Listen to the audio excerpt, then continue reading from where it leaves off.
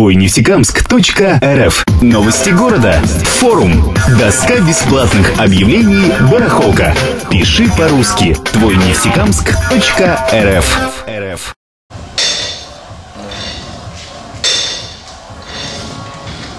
Два с половиной года назад Фадим Минигулов не мог и предположить, что через несколько лет станет чемпионом и мастером спорта по армрестлингу. А ведь до мечты было, можно сказать, рукой подать. Впервые попав в тренажерный зал, Фадим увидел, что парни по соседству борются на руках и решил сам попробовать. С тех пор его жизнь стала неразрывно связана с этим видом единоборств. Ну, все начиналось у меня с Венеда. Я просто пришел в этот спортзал и начал качаться. Ну, просто хотелось быть сильным, да? Ну, я увидел то, что там есть секция армрестлинга, и как бы я с ребятами боролся, ну, борол многих, и думаю, почему бы не записаться, пойти. Вот. Начал заниматься уже, еще более сильным стал.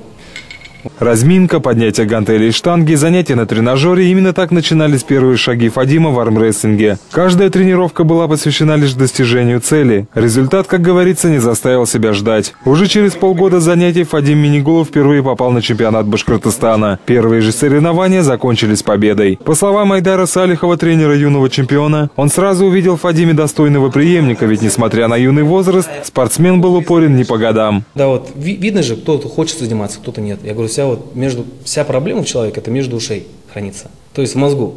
Вот, в принципе, в нем это как бы я увидел, то, что он человек уже как бы, а понимаете, он все свою концентрацию внимания, да, как бы зависит, а он уходит в тренировки. Вот некоторые приходят заниматься, они что-то болтают, там что-то что делают, а в нем как бы я увидел внимание полностью, внимание полностью как бы уходит именно в тренировки. Я вот это увидел и как бы начал, как бы вот сказал, что вот этот человек будет чемпионом мира, у него как бы это получится. После первого успеха последовала победа на чемпионате Приволжского федерального округа, призовое место по России выигрыш в мае 2012 года на соревнованиях в Европе. Тогда Фадим впервые стал мастером спорта. На достигнутом юный спортсмен останавливаться не стал и уже буквально через полгода подтвердил свой разряд, став двукратным чемпионом по спорту на прошедшем в Бразилии чемпионате. Как признается Фадим в своей победе, он был уверен. Единственное, что немного переживал перед первым выступлением. Э, самое трудное там было подготовиться морально. Все-таки вот у меня вот перед первым боем было такое волнение, мандраж очень сильный, да, это вот больше всего давит.